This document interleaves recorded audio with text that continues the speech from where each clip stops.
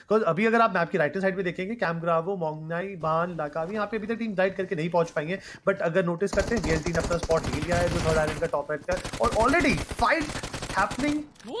Already इस बार soul ने यहाँ पे हैदराबाद हार्टिस के साथ बिल्कुल बैंग ऑन फाइट ली है कल इनके काफ़ी ज़्यादा प्रॉब्लम थी बट आज मुझे लग नहीं रहा कि ये किसी भी हालत में किसी को छोड़ने वाले हैं। गन्स आई फ़ायदा उठाया और सामने वाले को सीधा सर्वर से बाहर निकाल के देखा। तो ने यहाँ पर सूर्या को नॉक कर दिया है उसके बाद टीपी भी लेने की कोशिश थी बस 67 अब सोल नॉक करा किल को कैपिटलाइज करते उससे पहले कवर आता है ओमेगा का। प्लेयर को गेम से बाहर निकाला और ये देखिए instant revive soul securing clean focus शुरुआत बहुत ऑन हुई है. टाइम आ चुका है लगता है सोल का कि पेज थ्री से पेज टू या पेज वन का जो सफ़र है वो चालू हो चुका है।